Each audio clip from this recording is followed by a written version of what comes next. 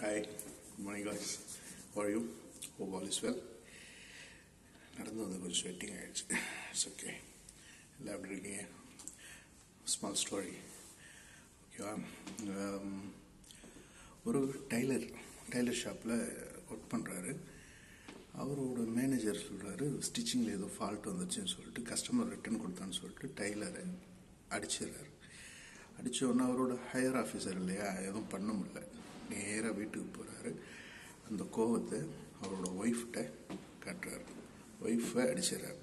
Wife டென்ஷனாகவே பெரிய பையனை அடிச்சிடுறாங்க. பெரிய பையன் போன சின்னவன் கடைக்குட்டியை போய் அடிச்சிடறாங்க அடித்த உடனே என்ன ஆகுது?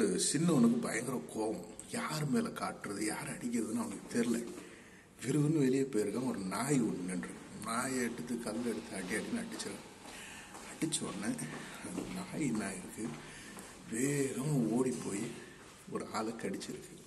அது வேற யாரும் இல்லை. இந்த பையனோட அப்பாவை அடித்தார் பாருங்க அவர். மாரல் ஆஃப் த ஸ்டோரி என்ன சொல்றதுன்னா வினை விதைத்தவன் வினை அறுப்பான் தினை விதைத்தவன் தினையறுப்பான் மெர்சல் பட்டில் ஒரு டைலாக் வரும். நீ பற்ற வைத்த நெருப்பொன்று பற்றியெறிய உனை கேட்கும். நீ விதைத்த வினையெல்லாம் உன்னை அறுக்க காத்திருக்கும்.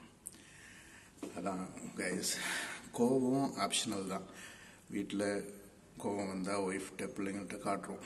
நம்ம டீம் லீடரோ நம்ம மேனேஜரோ நம்ம ஹையர் ஆஃபீஸர்ஸோ கோவப்படும்போது சரி சரி கையை கட்டிட்டு நிற்கிறோம் ஸோ பாருங்கள் ஜஸ்ட் கண்ட்ரோல் பண்ண பாருங்கள் everything five minutes wait பண்ணிங்கன்னா தானாக சரியாயிடும்.